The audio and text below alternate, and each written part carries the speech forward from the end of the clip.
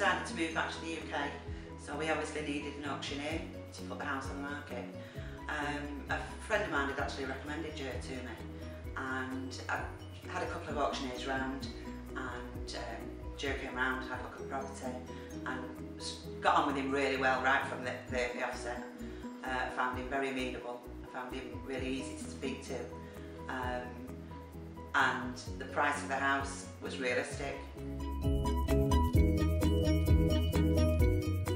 Joe was very good with the feedback.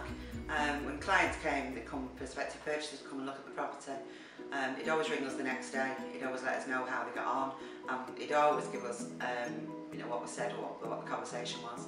And then when we started to get offers, um, it was very good, and that's where we found him to be excellent, because at the end of the day, we didn't know what to do, and that's where his professionalism came into, because we would be very tempted to take the first offer, but obviously that's, you know, Joe knew what he was doing, that's his field. And he, you know, he'd say to us, no, hold on, I know I can get more for you.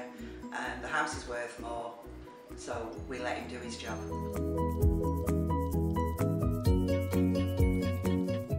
I would have no hesitation in recommending Joe Hanley at Auctioneers. He did everything that he said he was going to do for me and more. And I've already uh, given his name and his card to friends and family of mine because he's definitely good at what he does.